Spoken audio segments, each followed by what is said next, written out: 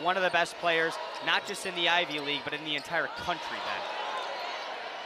Meister goes to her left and finishes through contact, the and one. Make this assembly hall environment a real assembly environment. That was Gabby Anderson. This time she's forced to foul.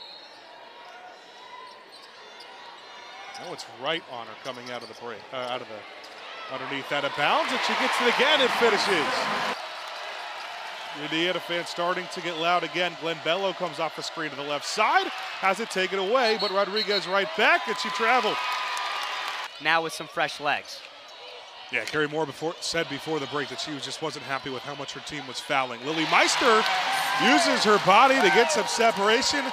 Starting five back into the game for the Hoosiers. Ciezki, Moore, McNeil, Parrish, Garzon, and Meister with the ball right there, and she's got her second baby hook to start this game off. Defensively for Harvard, it's Zaric just walling up inside. Another good play there.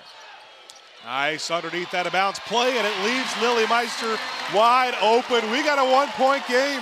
Now Harvard gets the last shot, up by two. Turner with the ball. An extra pass, didn't need it, and that's how the third quarter ends. Still within one possession. Pass deflected. Moore McNeil able to keep it in bounds. Meister had the seal and has the finish.